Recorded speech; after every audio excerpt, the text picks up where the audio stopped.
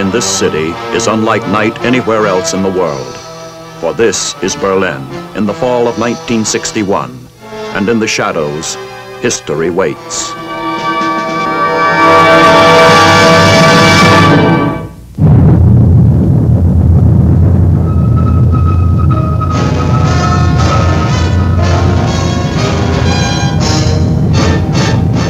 The United States Army presents The Big Picture. An official report produced for the armed forces and the American people.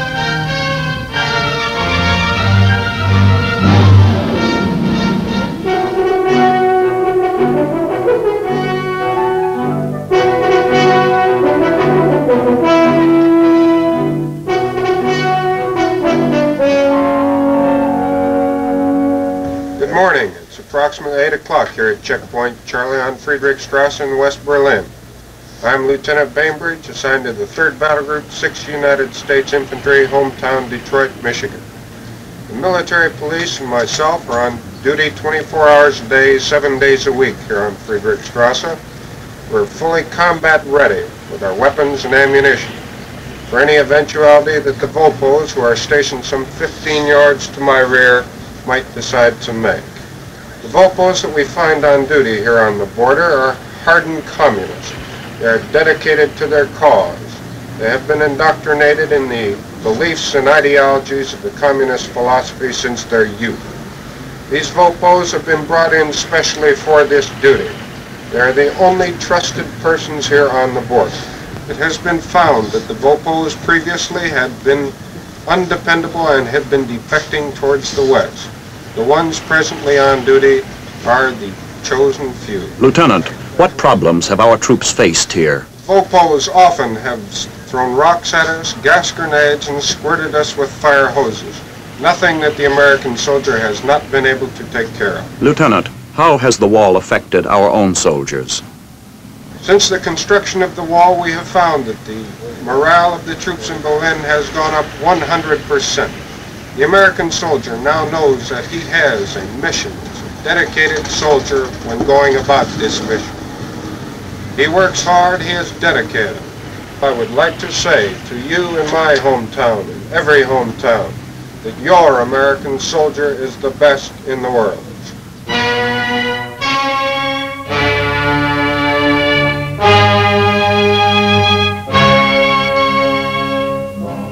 These are the best soldiers in the world.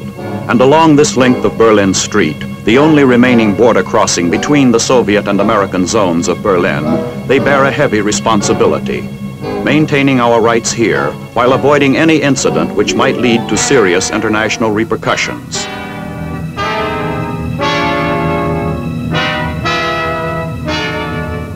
Across the border, Vopos, East German People's Police, armed and backed up by Soviet might, are determined to prevent any more East Berliners from crossing into the American zone of the city. They also threaten our legitimate rights of entry into East Berlin.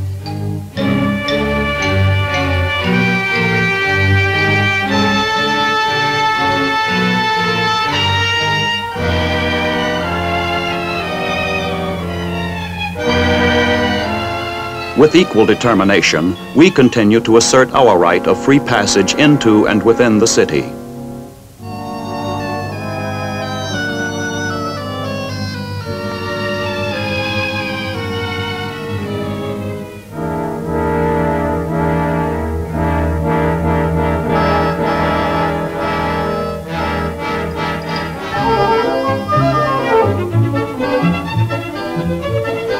West Berliners, whose lives are linked inevitably with the wall and what it means to their country, make no secret about their feelings. My name is Peter Jenisch and my age is 23 year, 23 year old and I'm studying at the Free University and I'm born in Berlin, in the free town here. Uh, the West Berlin tune thinks that the wall is the worst thing what's gonna happen to Berlin. It's, we don't like it at all. Uh, it's not only dividing our town, it's dividing the German country, the nation. The, the German uh, people in West Berlin, they say we are very lucky that the American soldiers are here because uh, when the American soldiers are leaving West Berlin, the, the town is lost for the free world, lost for us. With the closing of the border, Soviet divisions in East Germany were on the move, with combat forces brought into strategic positions for the contest over the status of Berlin.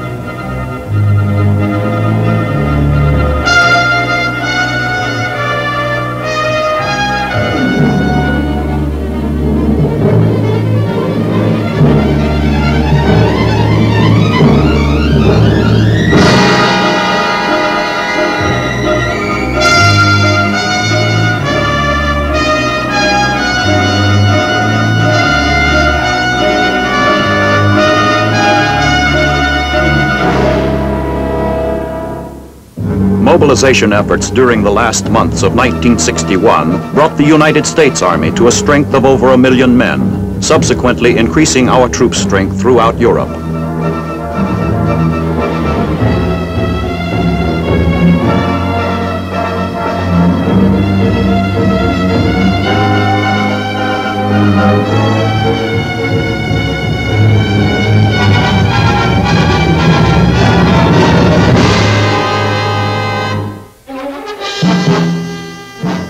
In the Berlin crisis, one of the most important demands on the American soldier is patience.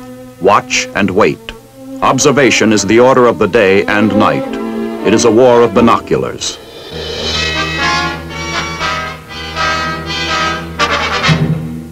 Seldom have our soldiers been under such careful and continuous scrutiny, not only by the East Germans, but by West Berliners intensely involved in the fate of their city. Behavior, conduct and appearance of our troops are as important here as their tactical readiness. Our military leaders in Europe keep close tabs on day-to-day -day developments.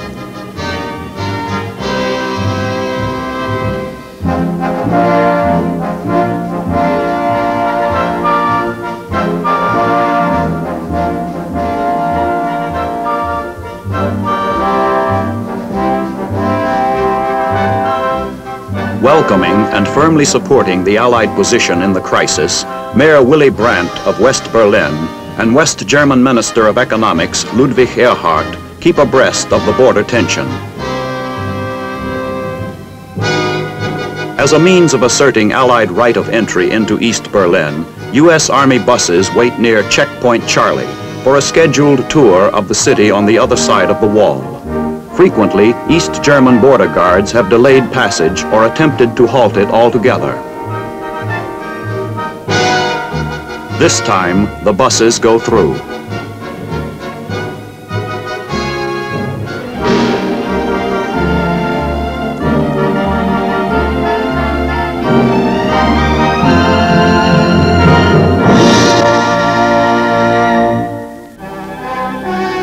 On the other side, the view tells its own story. A city in which the prevailing mood is restriction and fear.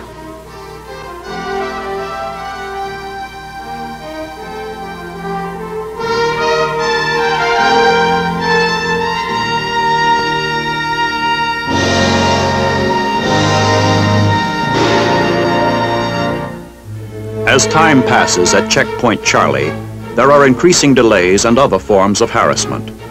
There is no pretense that East Germany alone is making the rules restricting entry into East Berlin. In a sober test of our entry rights, American civilian officials in West Berlin are sent through the checkpoint. Illegal demands of identification by the Vopos bring quick action from United States Army authorities. Jeeploads of armed military police are ordered to escort official American representatives into East Berlin.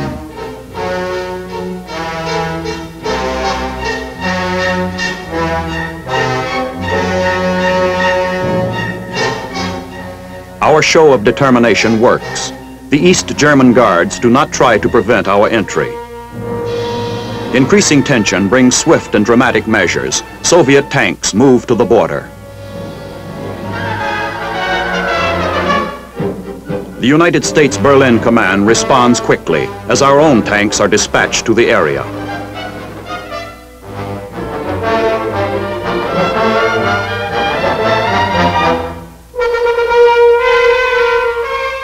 They face the Soviet armor only 100 yards away. Finally, the Soviets will withdraw. We will pull our tanks back. It is a grim game of point-counterpoint.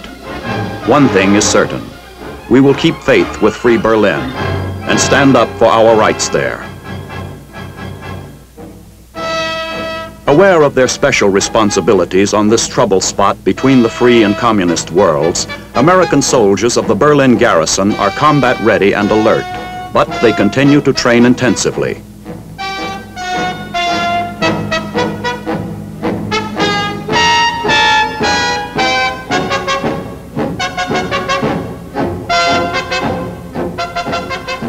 Hand-to-hand combat training. Today's troops are required to show an all-around soldiering skill demanded by their critical mission. Skill in self-defense and knowledge of a wide range of military subjects.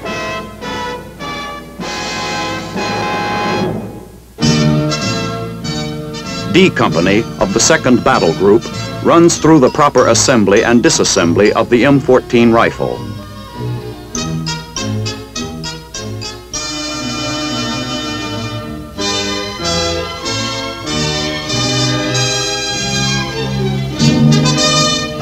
The M14 is lightweight, semi or fully automatic.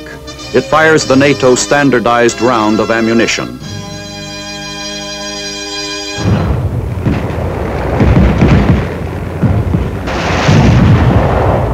Mock City Attack, one of the many continual training exercises in a type of fighting that might be anticipated in the event of outbreak of hostilities in the city.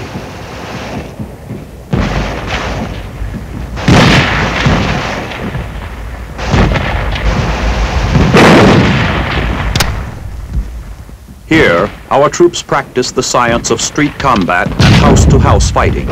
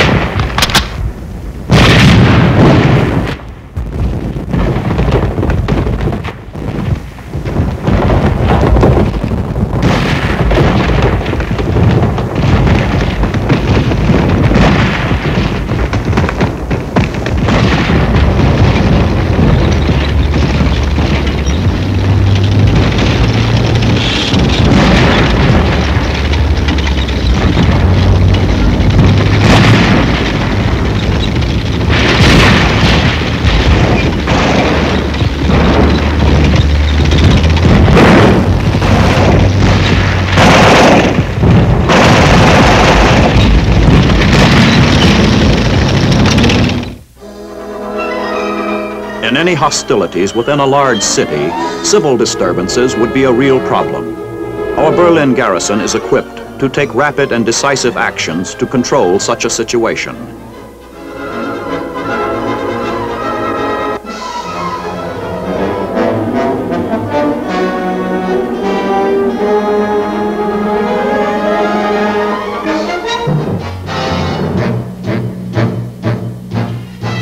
Riot control formation, a detachment engages in a practical exercise as it moves toward a group of American soldiers acting as hostile civilian demonstrators.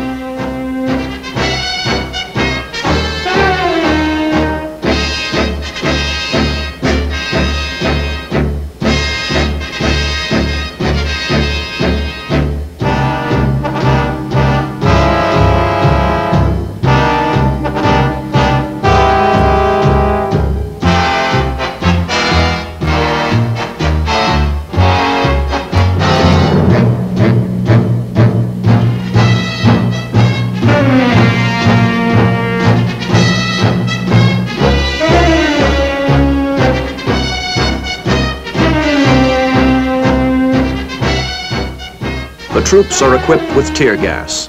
A helicopter is also used to disperse the mob by releasing tear gas overhead. Training in anti-riot methods is intensive here. One more highly skilled military technique required of our soldiers in Berlin.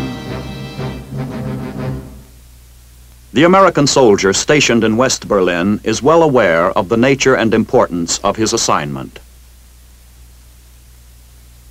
I'm James P. Morgan from Saluda, North Carolina. I serve in Delta Company as a sniper. I'm, Be- I'm Samuel Johnson from Beckley, West Virginia. I'm 21 years of age. I serves in the same unit with Morgans as a machine gunner. First of all, you have to be an expert with your weapon. Then there are 16 snipers in a company, which the mission during wartime is to just wander around on the battlefield and seek out and kill key enemy personnel. But since they put the wall up between East and West Berlin, my job became more important to me. Is more keep me more alert on my toes, in the unit as a whole. Well, truly, you couldn't say that it was crisis, although it is.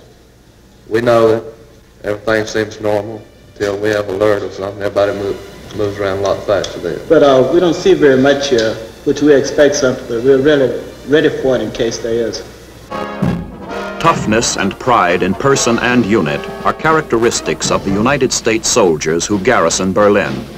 This precision bayonet drill by the 2nd Battle Group Honor Guard at McNair Barracks in West Berlin symbolizes the expert training given our soldiers who are demonstrating in this world focal point a military posture that will show the American fighting man at his best.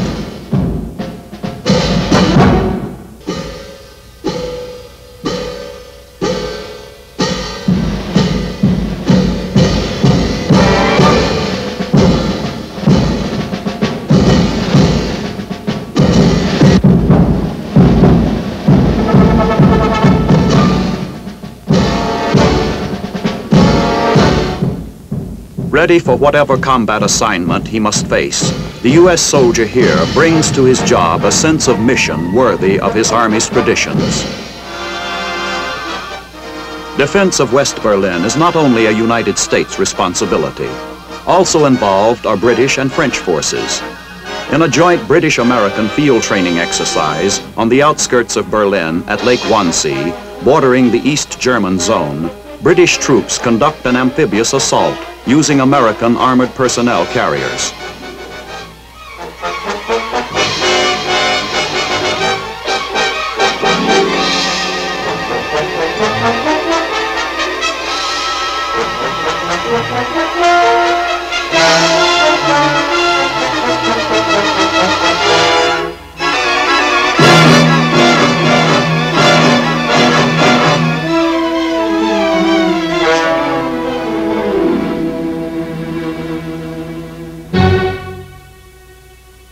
Despite the tightly sealed border, people in East Germany continue to risk their lives to escape to the free world. A small, highly trained squad of American soldiers is ready to help refugees once they have crossed over to the American zone. This simulated rescue operation shows how the plan works. An observer spots a man trying to make his way to the American zone. Word goes back to an airfield.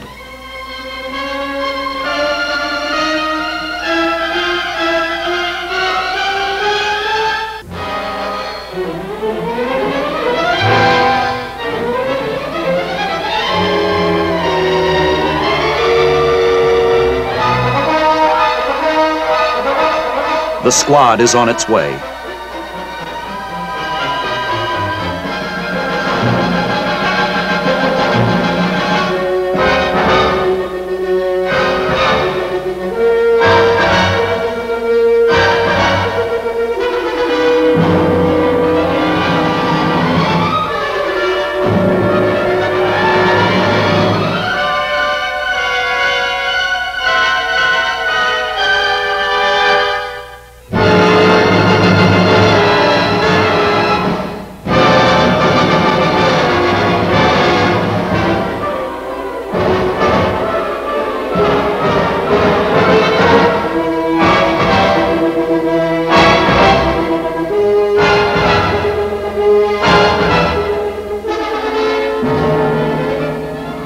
Location of the refugee has been narrowed down to a small wooded area.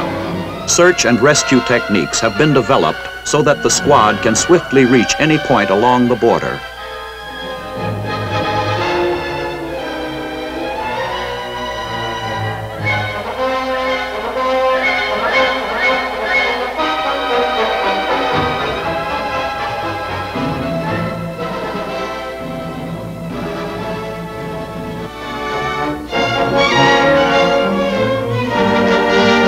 Is no violation of the border area by our soldiers. Only after the defector has crossed to our zone does our operation begin.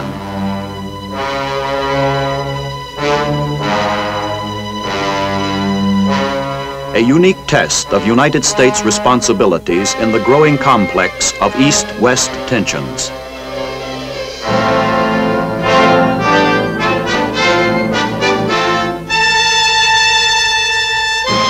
Determination on the part of the United States to stand by Free Berlin is not new. Proudly arching into the sky over West Berlin, the Berlin Airlift Memorial recalls an earlier communist attempt to isolate and weaken this outpost of the free world.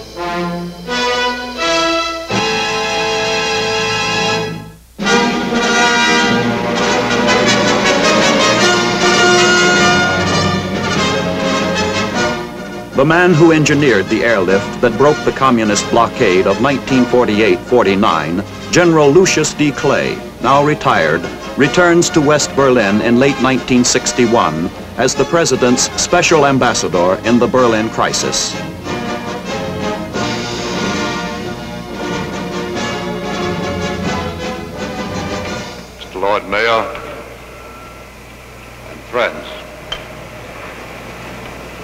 Course, I am both happy and proud to be back in Berlin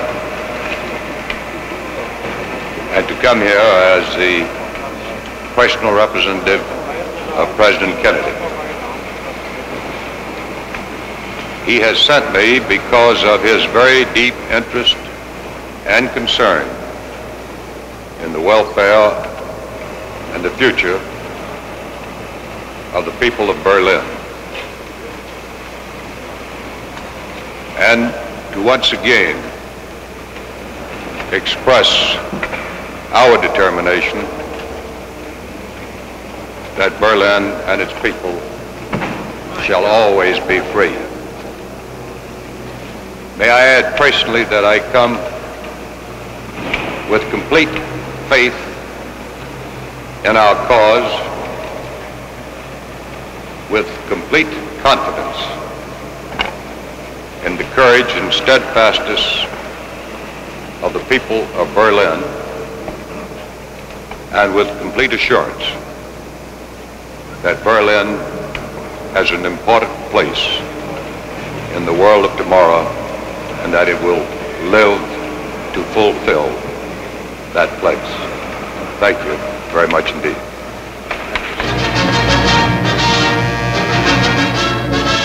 The largest parade in Berlin since 1946 commemorating the 174th anniversary of the signing of the United States Constitution.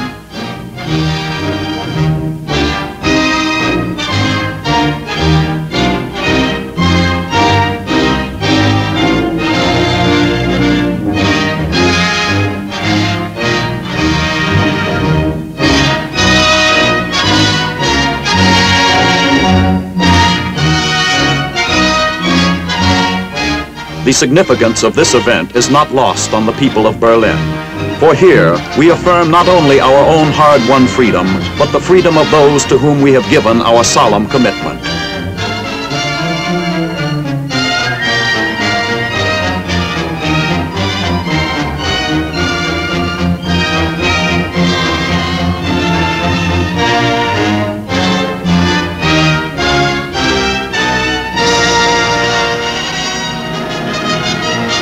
Berlin, 1962. A time as critical as those years before America was a free nation. As at Valley Forge, the weight of the burden of freedom's defense once again rests upon soldiers, upon their determination to carry out their responsibilities. On the front line of the free world, these soldiers of the United States Army are well prepared.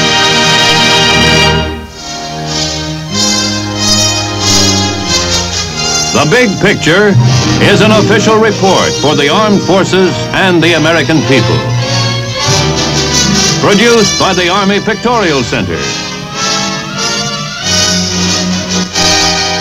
Presented by the Department of the Army in cooperation with this station.